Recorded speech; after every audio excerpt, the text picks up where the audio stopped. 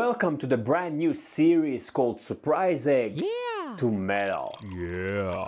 In each episode, I will open between one and three surprise eggs. Sometimes I'll just open an egg and turn whatever's inside into a metal version of a toy.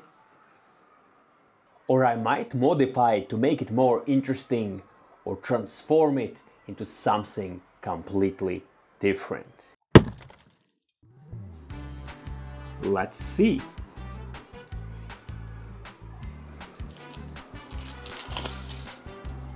I hope I can open the chocolate without breaking it into 100 pieces. It's a toy car. I like it. This one I like. Oh yeah, this is awesome. The plastic toy car was quite thin in a few places, so to increase my chances of succeeding, I use some cheese wax to make it thicker. I use my Babybel cheese wax sprues that I made in a previous video. Because the sprues are so soft, you don't need a soldering iron, you can just attach them by hand.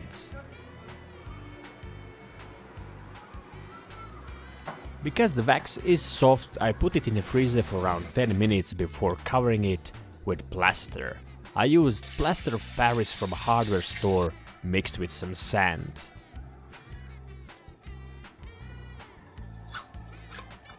Then I dried the mold in my air fryer and then transferred it to my microwave kiln to burn it out. If you're new, I have videos about kiln making and microwave metal melting on my channel. I won't go into details in this video. I'm gonna melt some aluminum.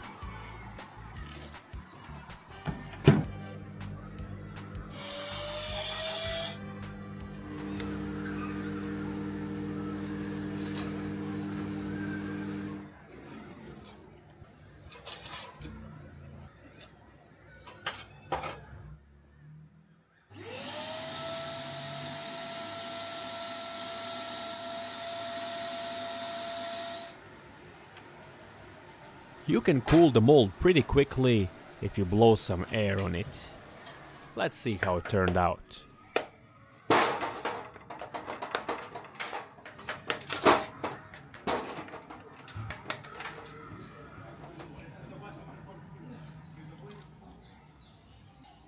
There are some air bubbles inside of the car, but other than that, it came out great.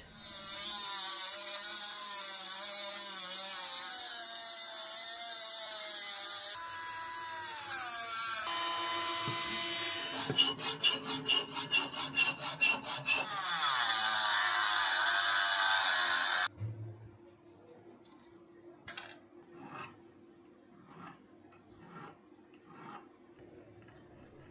picked up a new tool, an airbrush, and this is the first time I'm using it. It's a great tool, but I'll need to keep practicing. I made a few mistakes, one of them was touch the paint when it was still wet.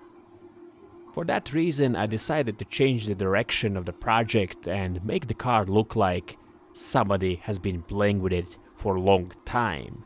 A toy car that has seen better days. So the only thing that's left from plastic is the wheels.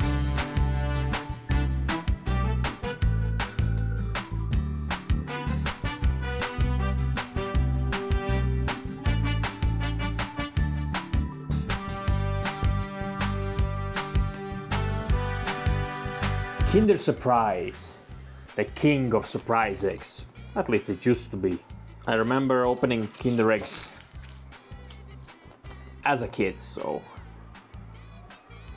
Oh yeah. Nice one. Open. Oh, it's a turtle. Turtle. So I printed this little sprue. And now I'm gonna hot glue the turtle to it. This time I'm gonna make my mold out of sand and sodium silicate, also known as water glass.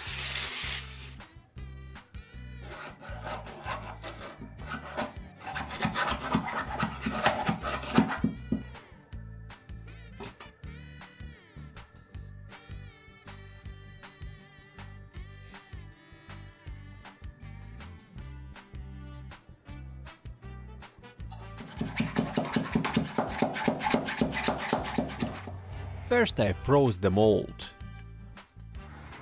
Then I hardened the sodium silicate by microwaving the mold on a defrost setting using a cycle timer.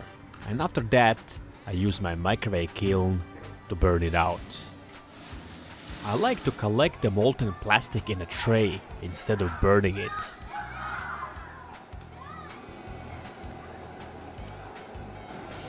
The mold has reached almost 450 degrees Celsius. It's the next day, the mold has been burned out and I'm just enlarging the opening where I'm gonna pour the metal. I'm gonna cover the mold with aluminum foil tape. It can help to keep the mold together in case it cracks. I will also pull some vacuum even though I don't think we need it. I'm gonna melt some bronze.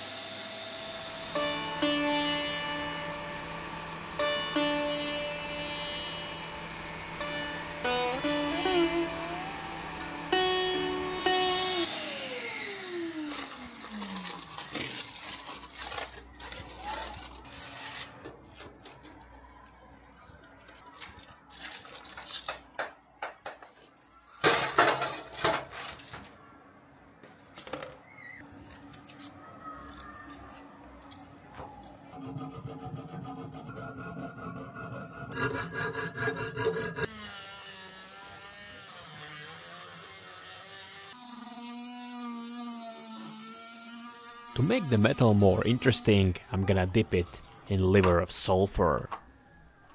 If you used it before, you'll know that it smells like, well, you know. Did you just fart? I did not sand the turtle, only the parts where the sprues were attached were sanded. And for that reason the eyes didn't come out as black as I would like them to. So I sanded the eyes and dipped the head in liver sulfur one more time. And here we have a wee bronze turtle. Wait a minute. Michelangelo, you're too small to eat that, my son. You need to grow up first. If you enjoyed this video, give it a like to let me know. Subscribe if you haven't, because this is only the first episode.